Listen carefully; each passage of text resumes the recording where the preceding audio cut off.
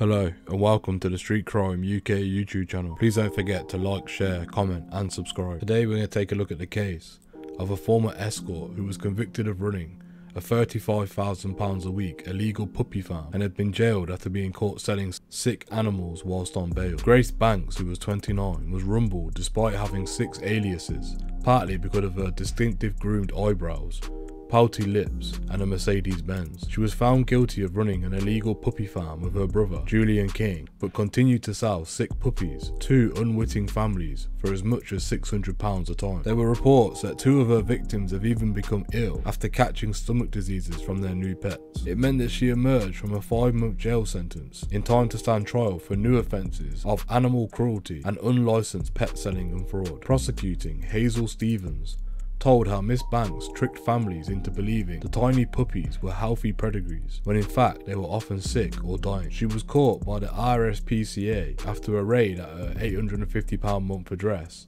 on Buckstones Road in Oldham. Inspectors found a dead puppy in the boot of her Mercedes, which had suffered days of agony. A probe revealed that she had rented an address in Oldham, Rochdale, and Littleborough, and even changed her name from Lily Cooper by deed poll to cover her tracks. Appearing at Manchester Minshull Street Crown Court in a black leather bomber, she was jailed for nine months by Judge Jeffrey Lewis. Describing the puppies she sold as flea-ridden, diseased, and a risk to human health. The judge added this was well planned and sophisticated. The goal goal of his enterprise was maximum financial gain, and you the one benefiting from that gain. Insisting Miss Banks is remorseful, Marianne Alton, defending, said, Miss Banks is no saint, and she may have made plenty of mistakes in her life, but she wants to move forward and step away from criminality. She said that her client had faced the agony of being released from prison, only to be appeared before the courts again.